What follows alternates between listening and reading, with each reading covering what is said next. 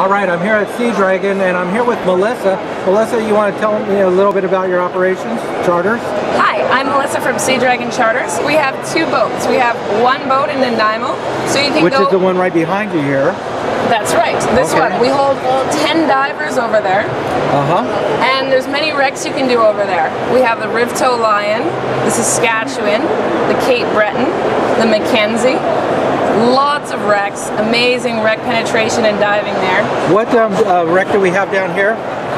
That is the Cape Breton. Okay, that w- before it went down. Yes. Now it's been down, what, 10 years it's been down, hasn't it? Yes, it's been down for about 10 Quite a while. So it's got a lot of, uh, actually in the first year or two it had a lot of wildlife on it. Yes, it does. And now it- we've got another boat that's down in Vancouver or up in Vancouver. Yes, this is our top line. We run out of Horseshoe Bay in Howe Sound. Okay. We can hold up to 20 divers there.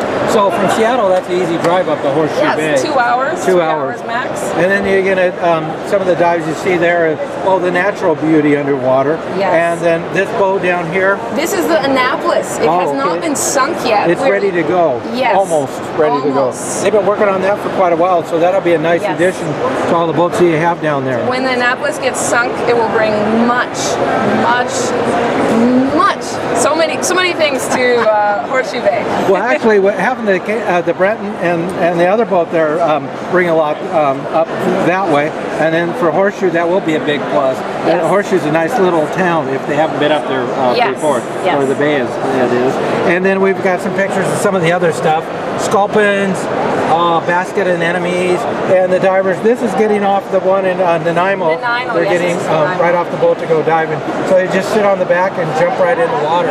Yes. And uh, most of the dive trips are uh, one or two uh, dives. Two dives. Yes. Okay, and it, so they're in the water, or they take off from the um, what the bay at what time? The bay usually um, 8:30 we leave. Okay, and you're back by sometime in the afternoon. 1:30. 1:30 in the afternoon. So it doesn't even take the whole day. Probably the same out in Nanaimo too, if the yes, weather's good. 8:30 a.m. We'd like to leave in the, in the morning. Okay, off the record, which is your favorite, the Nanaimo or the Vancouver?